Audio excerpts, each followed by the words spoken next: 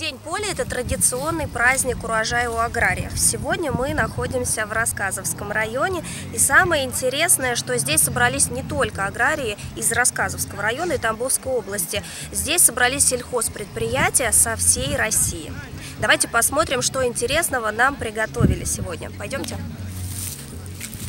Сегодня э, проводится на территории Рассказовского района День поля.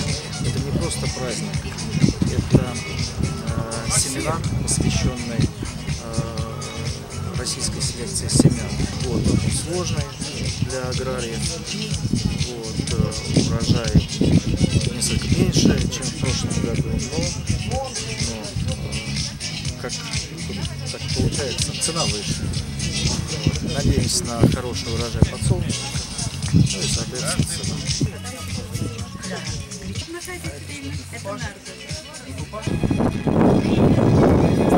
Здравствуйте, скажите, откуда вы, что продаете и чем, собственно, ваша продукция отличается от той, что продает магазин? Здравствуйте, меня зовут Роман. Представляем Рассказский район, непосредственно деревня Испанское село. Вот, продукция выращена вот у нас в районе. Это огурцы, закрытые. Вот. Ну и собственное производство. Это малосольные зеленые огурчики. А. Чем они отличаются от продукции с покрывалки? Ну, естественно, это экологически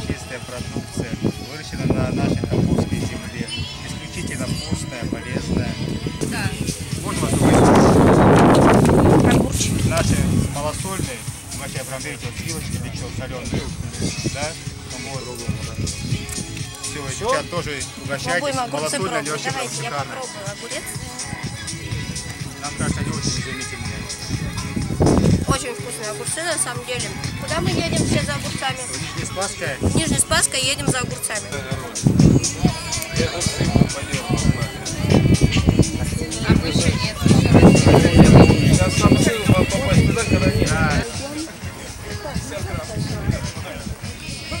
Две что-то, плюшка уже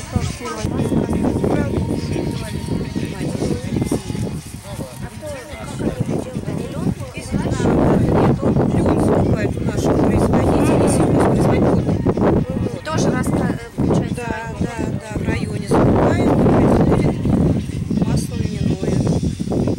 Вот собирается в руки на выставку чуть на следующий день.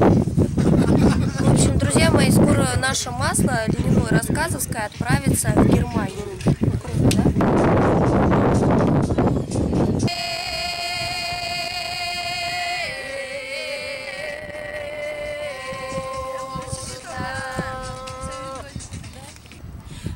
Главное для сельхозпредприятий и фермеров? Конечно же, высокий урожай и минимальная цена за семена.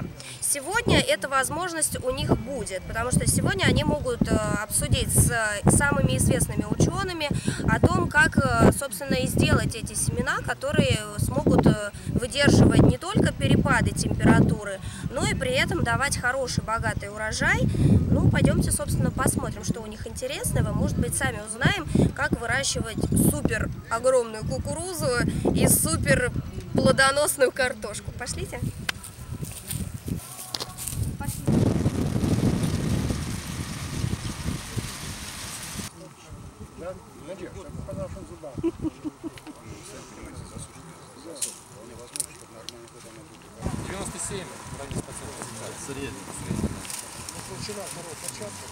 На данном участке у нас подсолнечка где-то около 65 и кукуруза там под 70. Но еще пока ничего не молотили. То есть тут сложно сказать, так сейчас внешне пос- посмотреть, то есть это пока ни о чем не говорит. Это нужно загонять комбайн, ставить весы.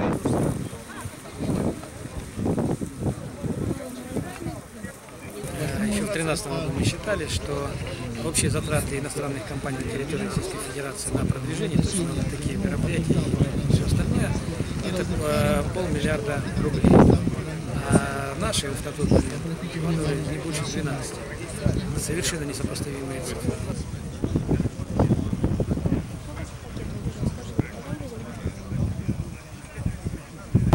День поля – это не только праздник, на котором собираются самые крутые, самые востребованные аграрии не только Тамбовской области, но и других регионов нашей страны.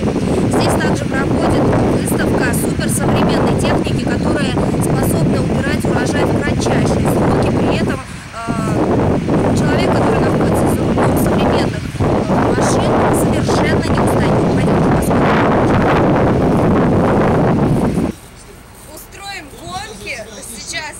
комбайнах. Давайте.